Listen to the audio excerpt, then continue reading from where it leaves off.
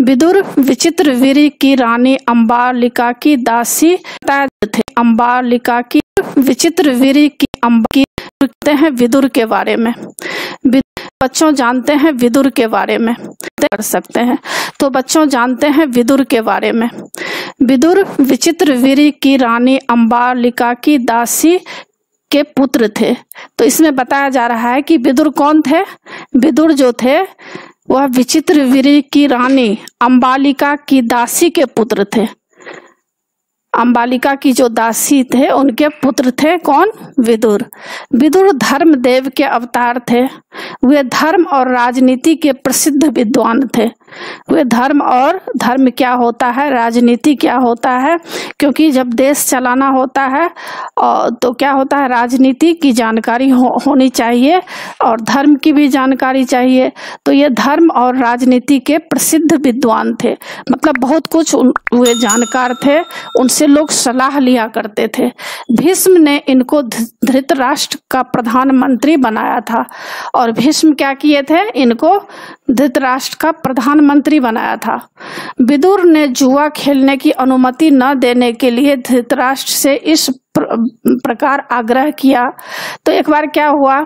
विदुर जुआ नहीं खेलने के लिए, जुआ जो एक तरह का खेल होता है तो उस खेल को नहीं खेलने के लिए धृतराष्ट्र से आग्रह किया था। किस तरह आग्रह किया था कि राजन, मुझे आपका यह काम ठीक नहीं जचता। इस खेल के कारण आपके बेटों में आपस में बैर भाव बढ़ेगा, इसको रोक दीजिए। तो विदुर तो बहुत बड़े राजनीति थे, धर्म जानते थे तो वे जानते थे कि यह जो खेल खेल खेलेंगे तो क्या होगा? आपस में कोई अगर हार जाएँगे तो हारने के बाद क्या होता है? मन में दुश्मनी हो जाता है। जैसे देखते होंगे एक छोटा सा चीज़, बच्चों की अगर हम लोग एक लूडो ही खेलते हैं तो क्या होता है, जब लूडो खेलते हैं तो चार आदमी उसमें बैठते हैं कभी कभी दो आदमी ही खेलते हैं। तो कभी एक आदमी अगर हार जाता है तो दूसरा आदमी चाहता है कि क्यों मतलब वो हार गया, हम हार गए। तो इस तरह से छोटी छोटी बैर भावना मतलब दुश्मनी की भावना अंदर पनप जाती है।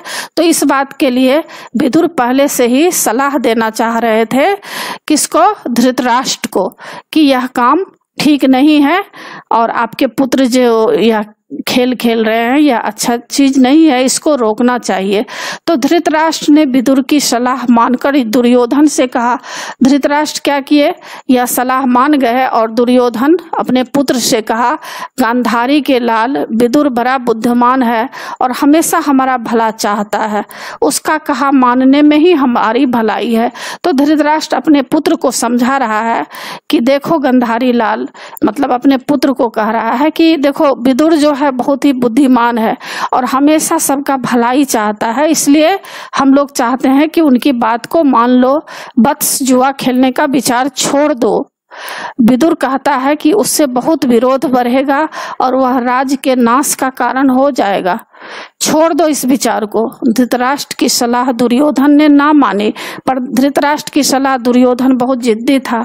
वह इस बात को माना नहीं, और पुत्र मोह के कारण ही धृतराष्ट्र ने युधिष्ठिर को जुआ खेलने का न्योता भेज दिया।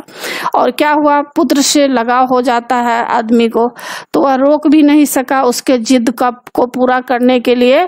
क्या हुआ? पुत्र मोह के कारण ही धृतराष्ट्र ने युधिष्ठिर को बुलाया, जुआ खेलने के लिए न्योता दिया। मतलब निमंत्रण भेजा। विदुर ने युधिष्ठिर को भी समझाने का प्रयास किया, किंतु युधिष्ठिर ने बड़े आदर के साथ यह उत्तर दिया कि, चाचा जी, मैं यह सब मानता हूँ।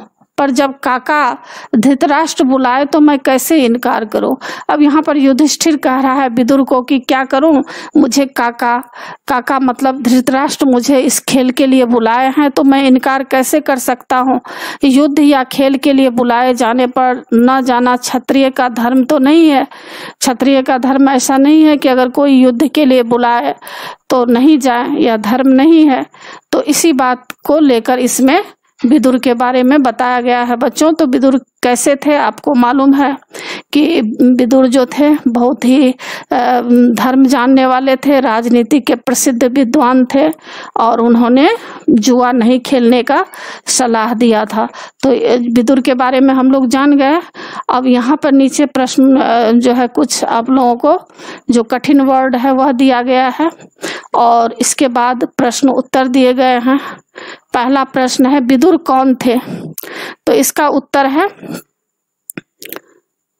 विदुर विचित्र वीर की रानी अंबालिका के दासी के पुत्र थे। दूसरा प्रश्न, विदुर किस क्षेत्र के विद्वान थे? तो इसका उत्तर है, विदुर धर्म शास्त्र व राजनीति के विद्वान थे। विदुर नीति उनका प्रसिद्ध ग्रंथ है। तीसरा, धृतराष्ट्र के यहाँ विदुर किस पद पर थे? उत्तर, विदुर धृतराष्ट्र के प्रधानमंत्री थे। चौथा प्रश्न, धृतराष्ट्र को जुए का निमंत्रण देने से रोकने के लिए विदुर ने क्या कहा था?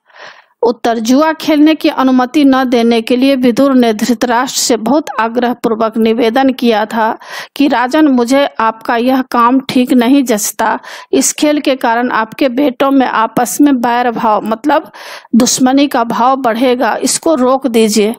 पांचवा प्रश्न, युधिष्ठिर ने विदुर की सलाह को सुनने के बाद विदुर को क्या उत्तर दिया?